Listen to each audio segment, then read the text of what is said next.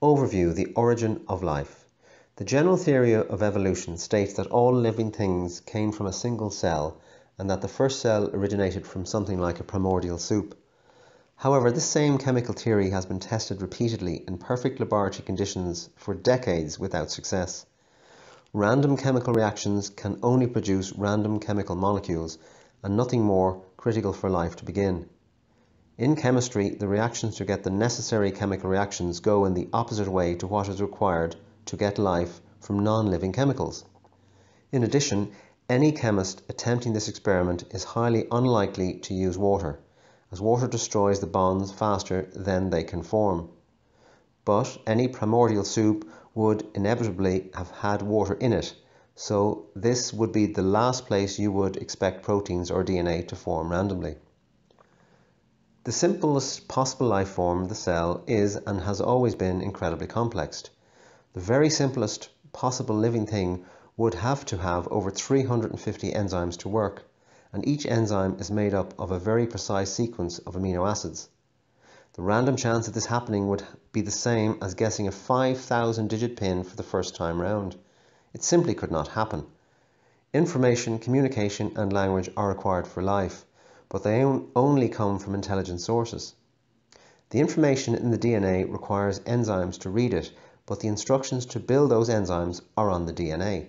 This is a real chicken and egg problem for the evolutionary theory, as DNA and the enzymes would have had to appear at the same time. Everything known today about chemistry, genetics, physics, probability, information theory, and linguistics all argue against the possibility of the spontaneous origin of life.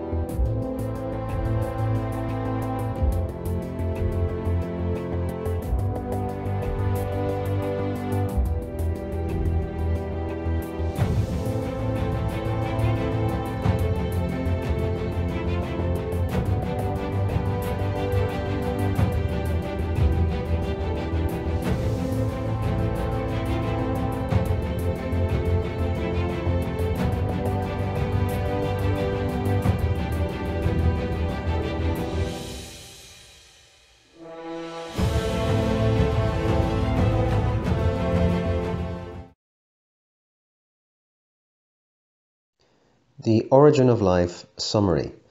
The simplest possible life form is still incredibly complex. Biomolecules do not come from random chemical reactions. The difference between living and non-living things is not so much the substances they contain, but how these substances are intelligently organized.